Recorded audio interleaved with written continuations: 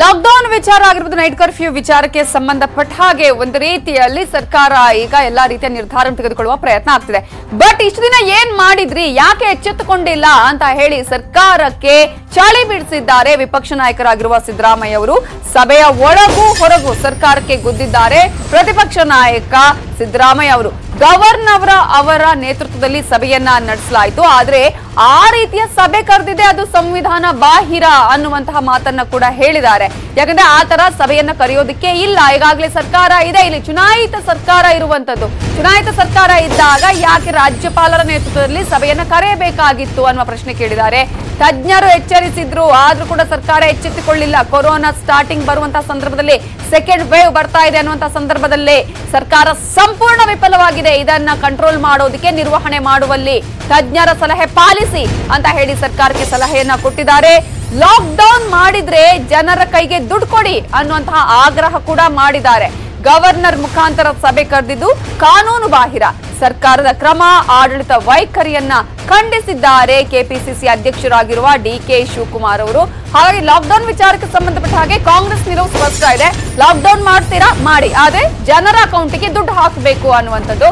ಆದ್ರೆ ಬೇರೆ ಬೇರೆ ಒಂದು ವಿಚಾರಕ್ಕೆ ಸಂಬಂಧಪಟ್ಟ ಹಾಗೆ ಸಾಕಷ್ಟು ಸಲಹೆ ಸೂಚನೆಯನ್ನ ನೀಡಿದ್ದಾರೆ.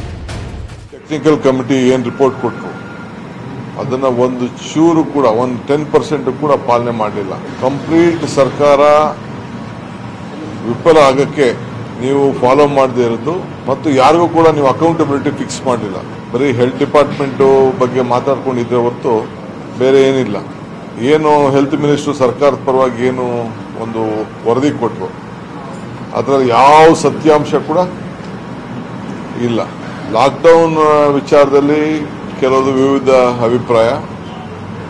ನಮ್ಮ ಪಾರ್ಟಿ ಏನು ಅಭಿಪ್ರಾಯ ಅಂತಂದ್ರೆ ಟೆಕ್ನಿಕಲ್ ಕಮಿಟಿ ಮೇಲೆ ತೀರ್ಮಾನ ಮಾಡಿ ಅಂತ. ನಾನು ಮೊದಲಿಗೆ ರಾಜ್ಯಪಾಲರು ಈ ಮೀಟಿಂಗ್ ಕರೆದಿರೋದೇ ಸಂವಿಧಾನ ಬಾಹಿರ ಅಂತ ಹೇಳಿದ್ದೀನಿ ನಾನು.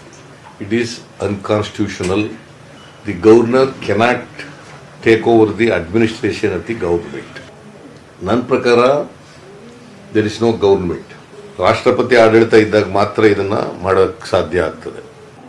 ನಾನು ಐ ಡಿಮ್ಯಾಂಡ್ ರಾಷ್ಟ್ರಪತಿ ಆಡಳಿತ ರಾಜ್ಯದಲ್ಲಿ ಏರಬೇಕು ಅಂತೇಳಿ ಒತ್ತಾಯ ಮಾಡ್ತೇನೆ.